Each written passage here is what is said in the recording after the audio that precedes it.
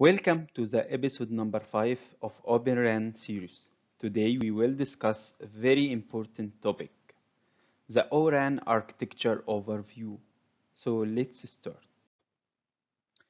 In the ORAN architecture, the radio side includes, uh, or ORAN architecture includes two domains or three domains.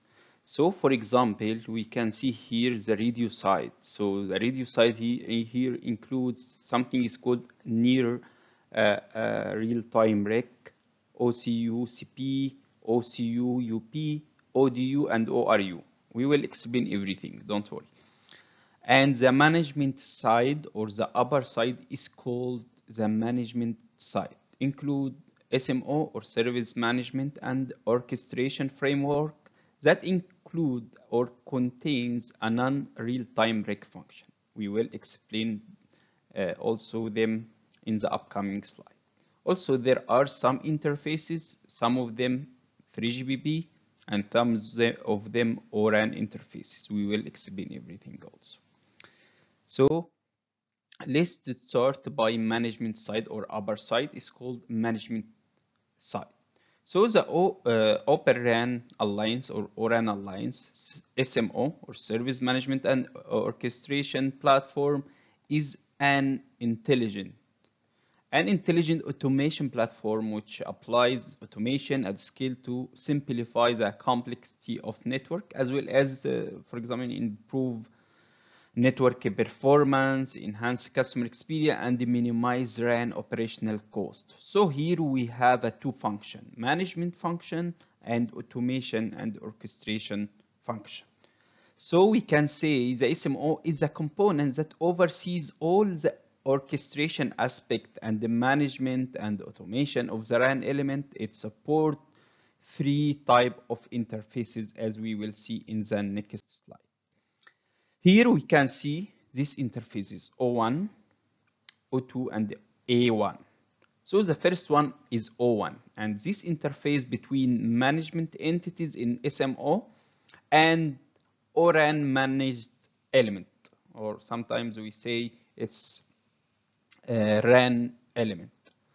For example, this type of connectivity between O1, for example, uh, with near real time, OCU, ODU, and so on, is for operation and the management uh, service like uh, fault management, uh, configuration management, uh, or all FCAPS management, software management, file management shall be achieved through O1.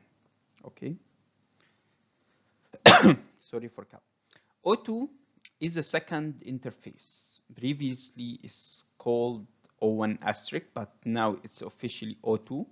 And this between interface between SMO and infrastructure or ORAN virtual network function or OCloud. Okay, and we will also explain everything.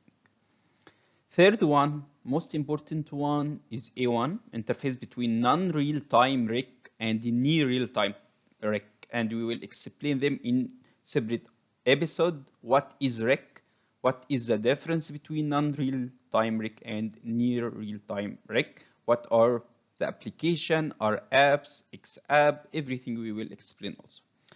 So over this interface, non-real-time RIC performs something is called policy management, enrichment information, use modeling for uh, AI and machine learning model updates to the near real-time RIC. So there will be a guidance from non-real-time RIC to the near real-time RIC. So this is the management side.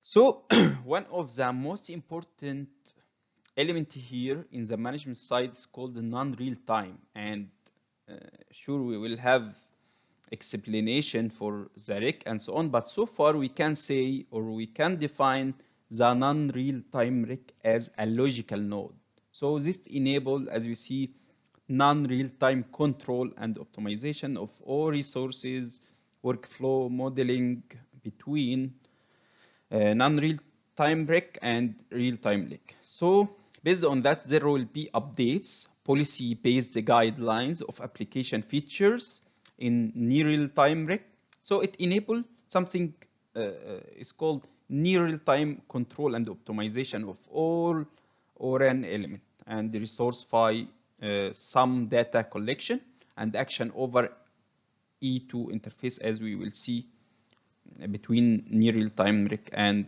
ODU and ORU. So the non-real-time RIC is a part of SMO centrally deployed in the service provided network and enable something is called non-real time. And when we say non-real time, we means the operation, the service with more than one second control of RAN element. Okay, so this is non-latency uh, like procedure of service. It's a limitation of the time more than one second. So it's a non-real time. Okay, and there are some application will be deployed here uh, it's called rApps. We'll explain them later. Okay, so this is overview about management side. If we are going now to the second part is the radio side. And the radio ORAN architecture is radio side, which include near real time, OCU, ODU, and ORU only. Okay, OCloud is infrastructure, so it's not in radio side. So let's start by near real time RIC. And here it's a logical also uh, function that enable near real time and time optimization and the control and data monitoring of OCU and ODU nodes in real time scale. That means between 10 milliseconds to one second. To this end, near real time RIC control is stirred by the policies and assisted by models computed and trained by the non-real time RIC. So we, we got the instructions, we got the data, we got the new configuration based on some policies and the data driven happened in non-real-time. Okay, so one of the main operation assigned to near-real-time RIC, for example, is radio resource management or RRM. We can say the near real-time RIC controls RAN element and the resources with optimization action that between 10 and uh, 1 millisecond, it receives policy guidelines from non-real-time RIC and provides policy feedback to the non-real-time. So it will be closed loop, take and give feedback through specialized application is called XApp. So here we will deploy XApp, here we will deploy our app. And uh, now we will talk about OCU. As you know, 5G is disaggregated the centralized, uh, as we discussed in the disaggregation episode, to OCU, ODU, ORU, and OCU will be disaggregated to control plane and user plane, and it's a logical node hosting RRC, is the PDCP, and will have a two subcomponent OCU central unit control plane and user plane. So its function is hosted the uh, non-latency protocols and also the RRC is the uh, is the and the PDCP. Next is ODU and it's the distributed unit logical node. Also based on uh, split function 7.2, it will be host RLC MAC and the high physical layer based on the low lower layer functionality split. We already explained this in the previous episodes. So now uh, the last one is ORU. Uh, this is a logical node hosting low physical and RF processing based on a lower layer function split or LLS. And this is uh, similar to 3GPP uh, RRH, but more specific in including the low physical layer uh, like FFT, IFFT, PRACH, extraction, and so on. So this is the main function of ORU. And as you can see, the OCloud, uh, like uh, the last one here is just infrastructure and this infrastructure will be hosted like the memory, CPUs, all hardware or servers or virtual CNF uh, platform that will, based on this infrastructure, we will host all our software for ODU or OCU, non-real SM, everything will be hosted on the upper layer based on infrastructure, its uh, servers or uh, cloud or whatever uh, virtual network function or containers network function. It's based on the deployment itself. So we can conclude what is the ORAN architecture overview. There will be a different types of component. First one, SMO, Service Management and Orchestration uh, Framework, include an integration fabric and the data service for the functions it manage. It manage also uh, function and interoperate and communicate with OCloud and also connected to the to manage the RIC, OCU, OCloud ODU, and so on.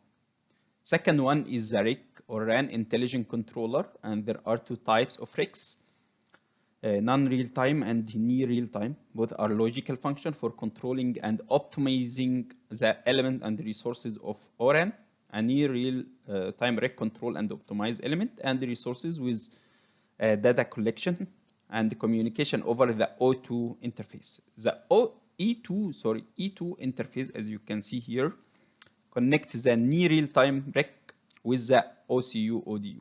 So sometimes you can say all of this node is called the E2 nodes. Okay. Third one, OCU, and OCU is a logical node that hosts a handful of protocol, which uh, like RRC or Radio Resource Control, is the Service uh, Data Adaptation Protocol, and the Packet Data conversions Protocol or PDCP. Then ODU, and ODU here is a logical node also hosted another set of protocol which are the radio link control, RLC, uh, MAC, medi medium access control protocol, and physical high physical interface. As we know, physical layer is separated to high and low. Uh, ORU is processes uh, the radio frequency received by the physical layer of the network, and the processed radio frequencies are sent to the ODU through a front haul interface. As you can see, here is very important interface. It is called a front haul interface between ORU and ODU, and there are some planes, CUS plane, meaning uh, control, user, uh, synchronization, and management. So this is a very important front haul, like uh, there are some latency capacity uh, constraints on these numbers.